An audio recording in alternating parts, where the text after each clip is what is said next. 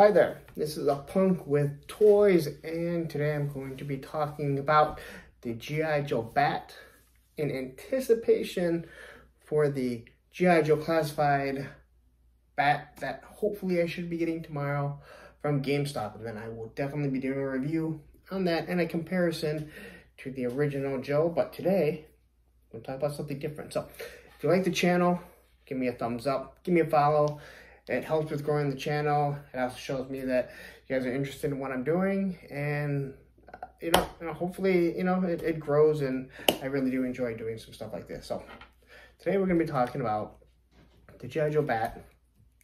Um, but not just the bat, but how to make it so his chest piece, how you can make copies of the chest piece, fairly easy for your collection if you have some that are like this.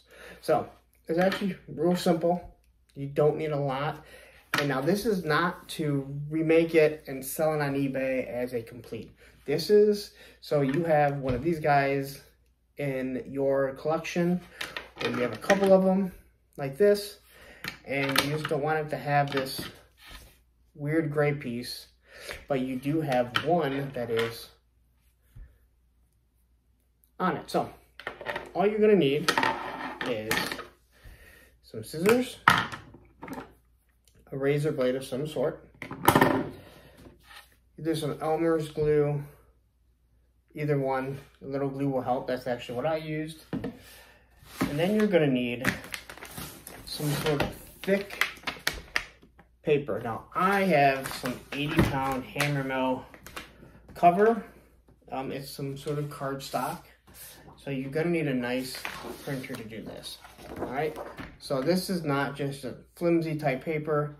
It's not gonna look wet when you glue it on. And you're obviously going to need some sort of copier. And obviously you're gonna need a color copier. Now I'm going to suggest right off the bat to use a laser copier and not an inkjet. Now I do, I, I work on printers, so it's actually pretty easy for me to come by one of these, but if you work in an office, you probably have a color printer that you can use, a color copier. Um, and if it's a copier, then it is, it's not ink, which the difference between ink and toner is toner is a powder.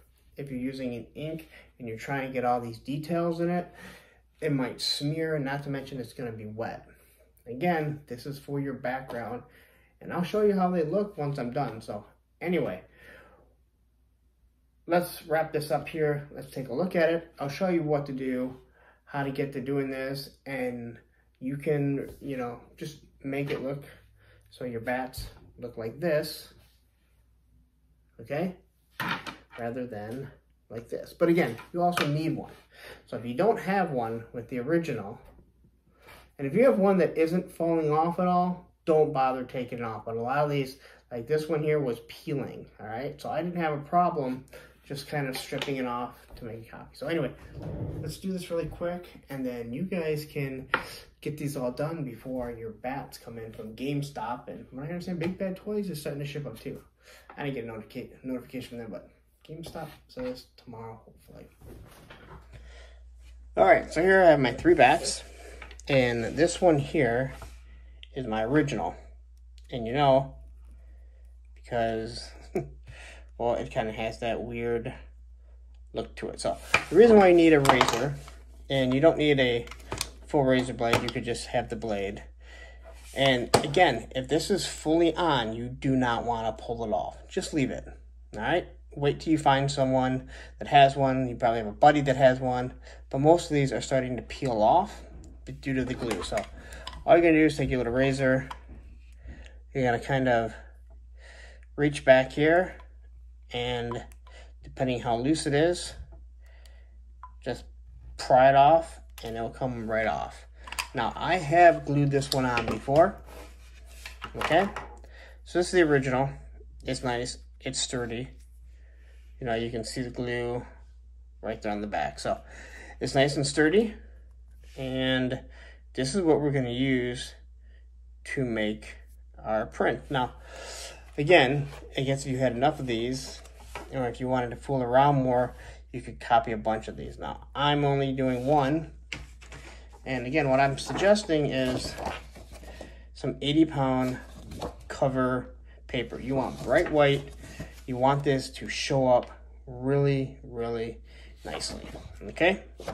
So, all you're going to do all right, so let's take a look at, look at this and we'll get back. All right, so there we have it. We're at my copier.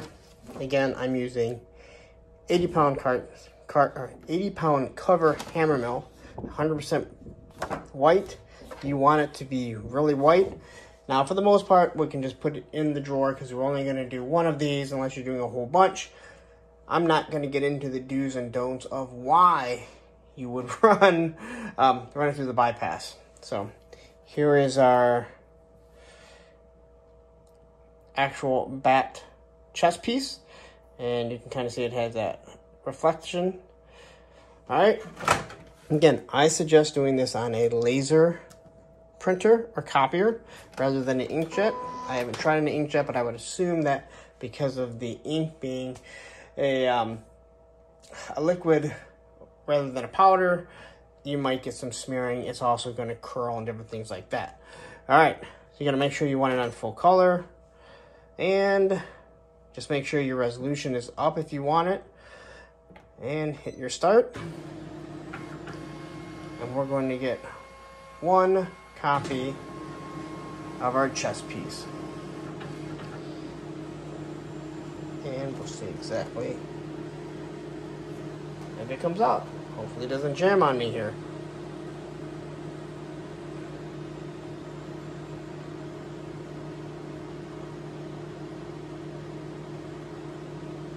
Alright.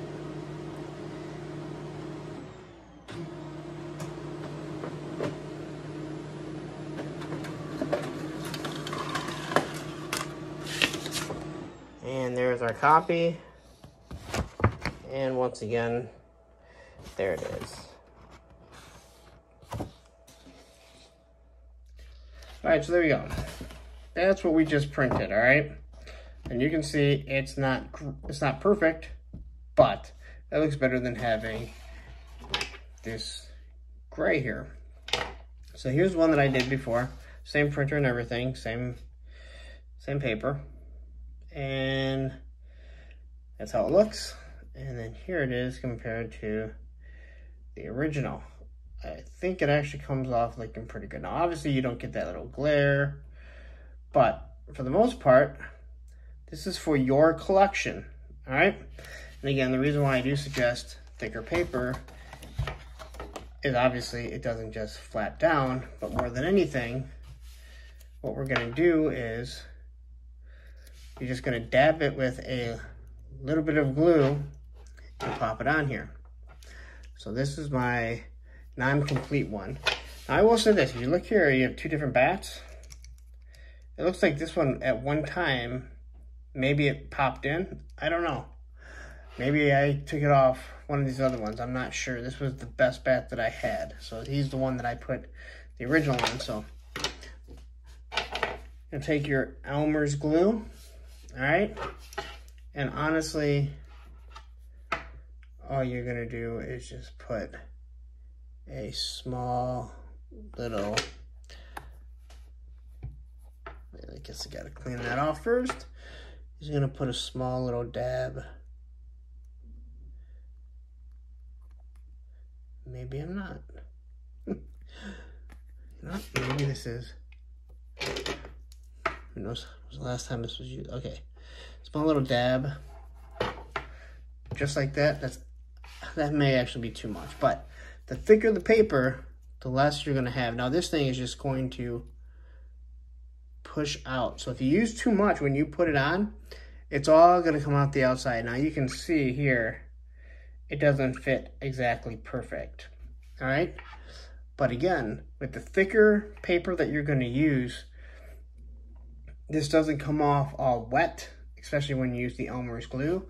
Again, you could use something like this if you wanted to, the clear glue that the kids use, but I'm just not a big fan of that.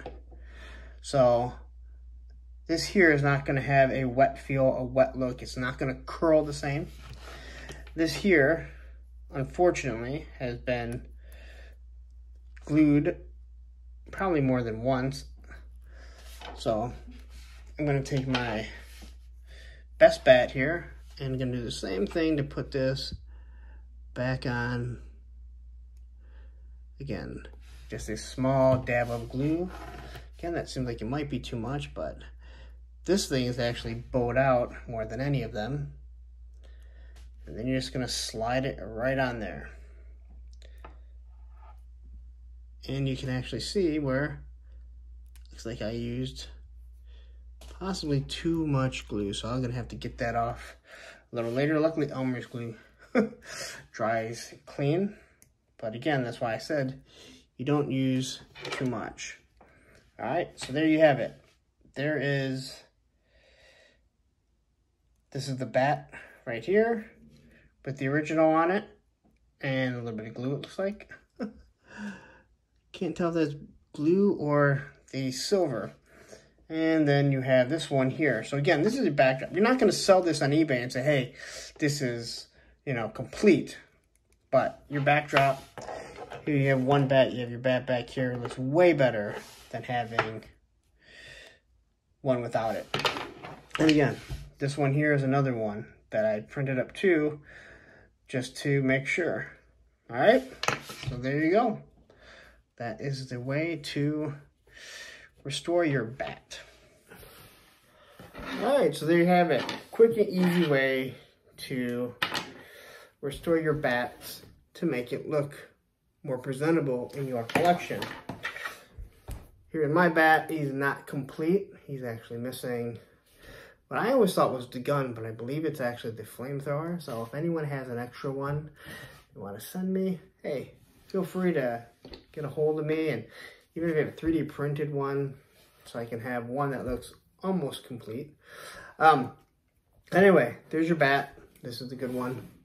My complete one there. Again, I actually don't take my glasses off. Actually, it's not glue that's out there. So I didn't use too much glue. Like I said, just a dab. That is just a silver that made it look like glue. And here's your one, one of the ones. So you can't even tell. Like if you were just looking at someone's collection, you're looking in the background, you're not even gonna be able to tell. So anyway, there you go. I hope it helps some people out. Um, I know I went quite some time having these guys. Two of them have no chest piece. The other one was literally just starting to fall off. And finally I was like, you know what? I'm going to go upstairs and use my printer. Not everyone has a color printer or, you know, color copier um, in their house. But I guarantee you that you can probably find one in one of your offices or uh, wherever where you work. Or you can just go pay, you know, again, I'm not going to get into the fine details of why you shouldn't run 80 pound cover through the drawer if it's one copy. Not a big deal. Don't go to this video when you call your uh, your repair tech and you're like, hey, uh, everything is bleeding all over and I've been running this 80 pound cover through the drawer because that guy's going to look at you and say you're an idiot. Actually, he won't say it. He's going to mumble under his breath, probably text it to his boss, what an idiot you are. That's it. I'm rambling. Anyway, um, give me a follow on the channel. I appreciate it. Again, I enjoy doing these videos. I hope that it helps somebody out. Um, give me a like on the video tomorrow. Hopefully, I'm going to have the classified bat. I can do the review. Um, I should bring my daughter in every day before school.